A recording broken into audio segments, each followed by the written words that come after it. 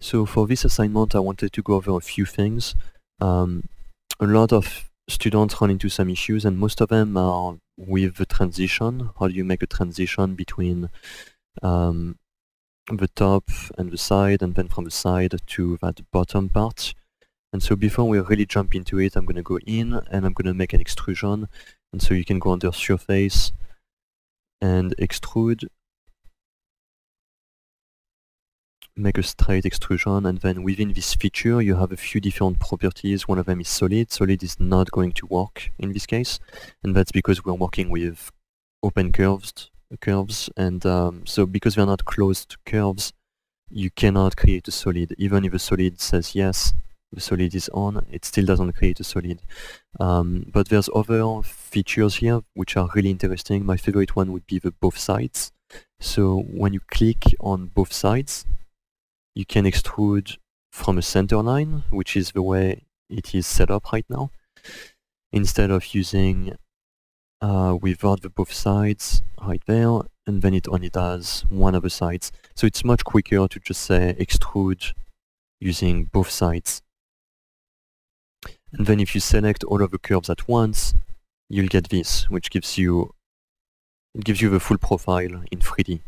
Um, and I should definitely go under this shading shading mode, so it's easier to see what I'm doing. Um, but so once you have that, which is really easy to do, um, you're going to want to go under the surfaces and make a loft. So you're going to want to loft each of the sides. And do that for each of them.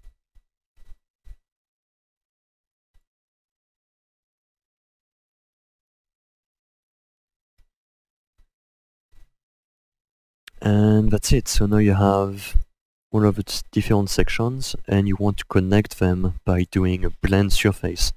And so this is where most of the um, like most people make mistakes right here because there's just different ways of doing it.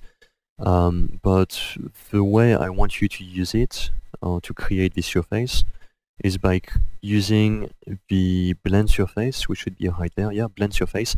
So you go down to surface, blend surface, and there's a few ways to use it, but you're always going to have a starting edge from one of your surfaces, and then an end surface, and so you select the edge that you want to use, and then there's different uh, features here, you don't have to worry about them, just click enter, and then you're going to have this box that pops up and this box gives you additional properties and some of them are for the position and other, other features right there give you um, an adjustment of how far you want to pull the, the points. And so if you use tangency, you'll get something like that. But if you use, like let's say, um, Number two would be curvature. If you say that, what it does is it lines up two points to be to have continuity with this edge. And we don't really want that. We want to have nice continuity between edge 1 and we want less continuity with edge 2. So what we will do is select number 2 tangency, number 1 curvature. And then we can change these numbers, which means if we want two to be closer in, we can go to the second one here, lower it, and then the first one higher up, and you'll get results like this one. So you don't want such a difference between these numbers, because if number 2 is, uh, let's say 0.5 and 1.5, then you end up having some really strange curve happening here where it goes out, out, out, and then it goes back in to follow that surface. So you don't want that.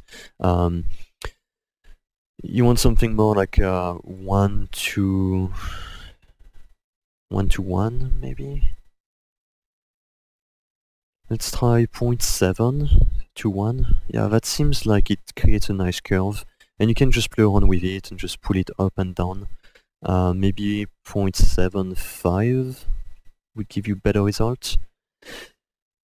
Yeah, that looks pretty good. So it's up to you how you want to build this surface and what kind of numbers you want to use. You can also use tangency, tangency. That tends to give you really good results too.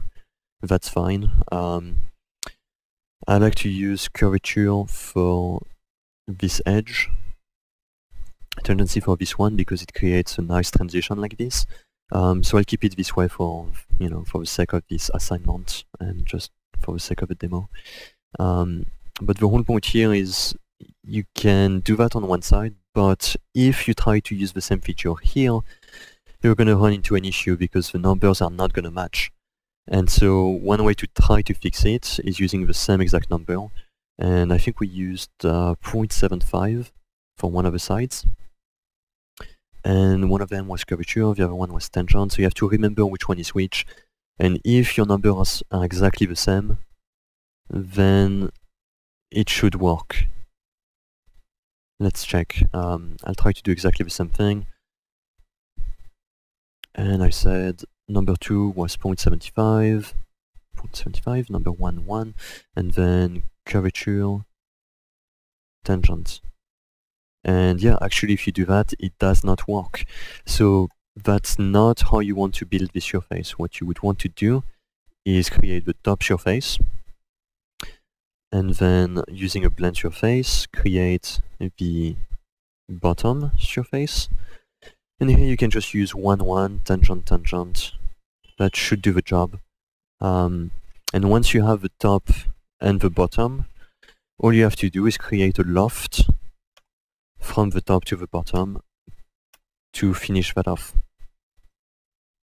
And you can do that on both sides.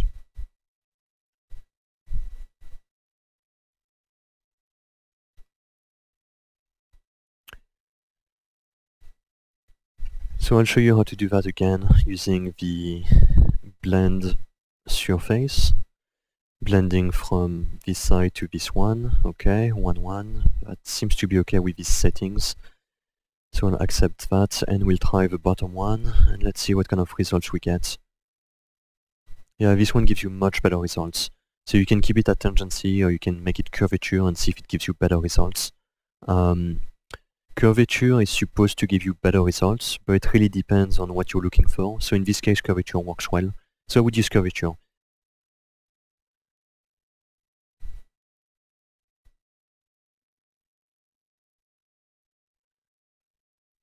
Um, you know, make it your own. You can change the design. Um, it's really up to you.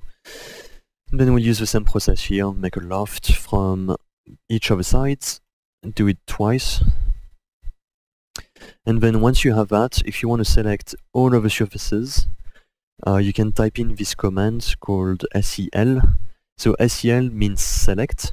So you can select all, you can select, uh, I don't know what this is, select only the boxes, select only the boundaries. And have you seen, you've seen it before, like if you say like extrude um, a curve, it's going to be CRV. So here you can select all of the curves and then for surfaces, usually they use SRF. So if you say select SRF, you're going to be selecting all of the surfaces.